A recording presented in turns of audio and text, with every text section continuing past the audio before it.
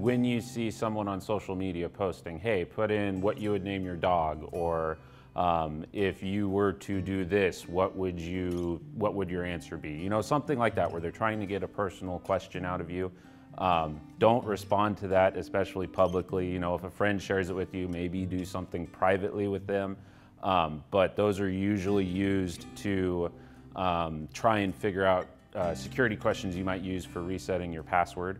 Um, it's, it's all part of social engineering to get more information from you. So instead of having to deal with the encryption on your password, um, they can just enter your email, do forgot my password, and answer your security questions and get in.